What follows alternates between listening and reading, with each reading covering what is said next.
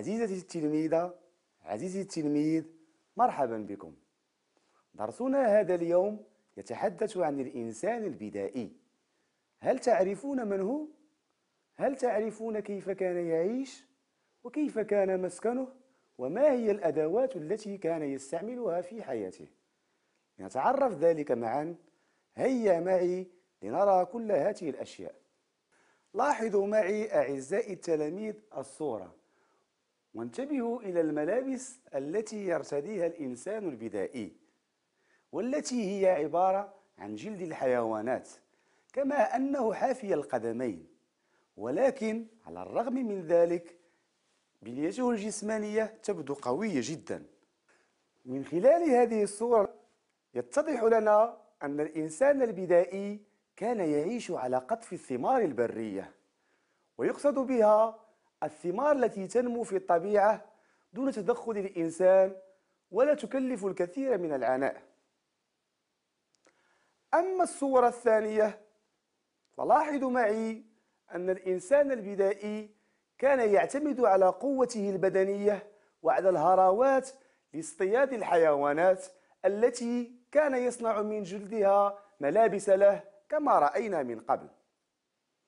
نستنتج إذن أن الإنسان البدائي كان يعيش حياة بسيطة يعتمد فيها على قطف الثمار والصيد. ومن أجل ذلك كان دائم الترحال والتنقل. ترى كيف كان مسكنه؟ هيا معي لنتعرف ذلك من خلال هذا النشاط. من أجل الاحتماء من المخاطر الطبيعية والحيوانات المفترسة لجأ الإنسان البدائي إلى الكهوف واتخذها مسكنا له. شاهدوا معي هذا الكهف إنه محفور داخل جبل.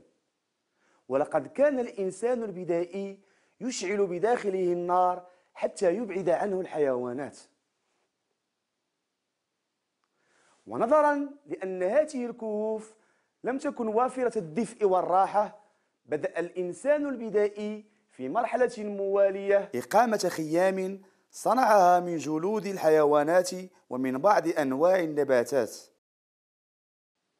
لاحظوا معي هذه المساكن التي هي عبارة عن خيام مصنوعة من جلود الحيوانات التي كان يصطادها الإنسان البدائي ترى كيف كان يفعل ذلك؟ وما هي الأدوات التي كان يستعمل؟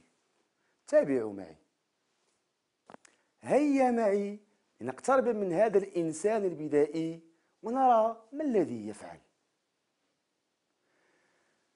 شاهدوا معي إنه يستعمل الأحجار المصقولة وكذلك عظام الحيوانات. كما أن الإنسان البدائي كان يصنع من هذه الأحجار والعظام أدوات أخرى كالفأس والمثقال. في الأخير عزيزتي التلميذة عزيزي التلميذ لم يبقى لي إلا أن أتمنى أن تكونوا قد استفدتم من هذا الدرس وإلى درس آخر إن شاء الله.